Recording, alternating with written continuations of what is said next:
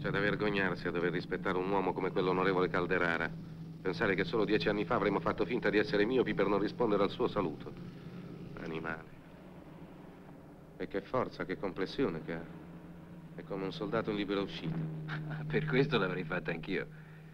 Ma io mi sono subito accorto di una cosa, che quell'animale non vedeva per niente. Escluso te, quelle donne ci disprezzavano. Davvero? Nanda ha detto di no all'onorevole, in un modo che le avrei baciato i piedi. A me ha detto che darebbe dieci anni della sua vita per andare una notte con il mio amico sottosegretario. Non c'è più nulla da sperare. Io mi sono rassegnato. Ah, sì?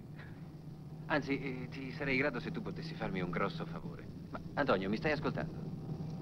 Eh, Scusa, che favore, dimmi. Ho visto che l'onorevole Calderara ti ha preso a ben volere. Beh, senti, perché non glielo dici tu di trovarmi un lavoro? Io ho bisogno di lavorare.